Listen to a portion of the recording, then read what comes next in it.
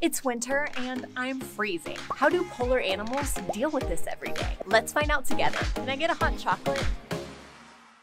To survive an extremely cold climate, animals need to keep heat from leaving their bodies. The best way to prevent heat loss is to get out of town and go someplace warmer.